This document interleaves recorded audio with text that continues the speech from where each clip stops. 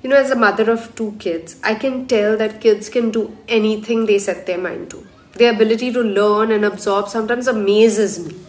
Like Riaan and Rahyl, they're super curious, always exploring, which of course keeps us on our toes. But once they start liking something, there is no turning back. Like their recent interest has been chess, and it makes me so proud to see how good they have got at it just watching them plan and execute and that sense of achievement on their face after winning a game is something that I'm seeing for the first time. but you know, it's not just chess, it could be sports, it could be gadgets, it could be cars. They want to know everything about everything.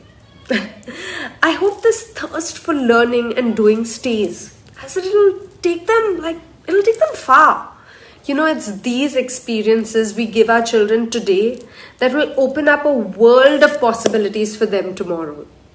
So, mums and dads, tell me how you are ensuring your kids are learning and exploring all new possibilities every day, even though we are indoors.